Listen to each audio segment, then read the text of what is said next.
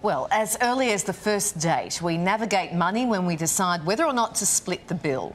Yet some of us are guilty of avoiding one of the most important discussions we should have with our partner the thorny issue of joint finances. Yeah, creating a method for managing our money is crucial in a committed relationship. So, how do we find financial security with our partner and how can we maintain this across all stages of our life? For more, we're joined by financial advisor and author Helen Baker in Brisbane. Good morning to you, Helen. Hey. Morning. Now, merging finances with a partner can be challenging, especially the second time around.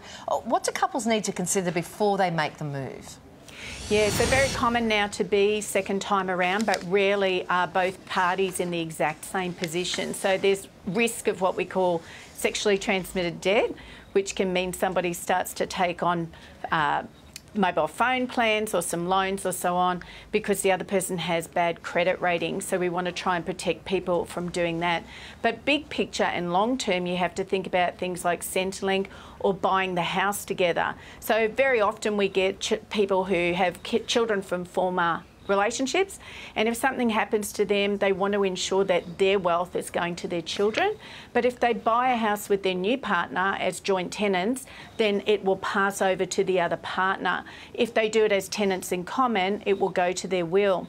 And so making sure that you've got the right insurances in place, the superannuation nominations are correct, the will's correct, so that we make sure people are not left on the street if they have to be you know, turfed out of their house because it went to the kids and they want to sell the house. So mm. a lot of planning. And Centrelink is another one where perhaps somebody has a lot and the other person has very little and their expectation is they're going to pick up some age pension.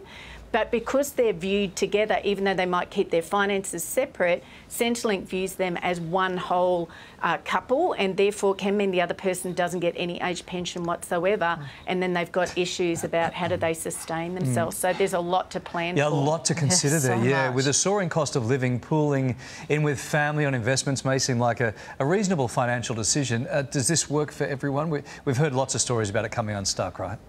Yeah, and look, there's a great opportunity bringing family in for what we call economies of scale. If you're trying to buy a holiday home or a rental property or a business, can be a great way for everyone to go in.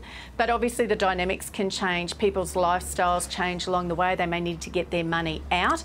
There's benefits around pushing money through to different people and stretching the money because somebody probably earns a lower income than the other.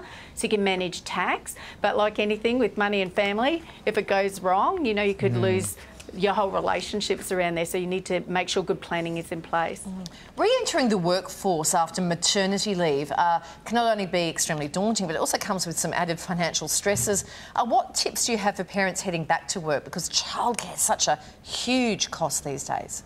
Childcare is huge. I talk about a spending and an investment plan. So if you go back and revisit the additional costs you'll have, such as childcare, um, transport costs, all those extra costs, even the cost of buying your suits or whatever it is to go back to work, making sure then you've considered if you've got to repay HELP debt. But now you should be getting that investment going. And what do you do with that? So there's a great one called the catch-up legislation, which is my favourite.